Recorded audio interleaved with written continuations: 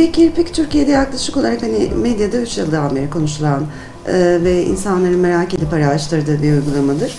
Daha eskilere gidiyor. Yaklaşık bir 10-14 yıldan beri Türkiye'de uygulanan bir sistem. Avantajları şu, e, bayanlar sabah kalktıklarında rimel, maskara, uğraşma dertleri yok.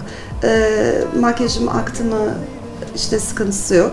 Dolayısıyla yaklaşık olarak ayda bir ara uygulamaya gelerek e, istediği kadar kullanabildiği, kirpiklerini uzun ve dolgun olarak gösterebildiği bir uygulamadan bahsediyoruz.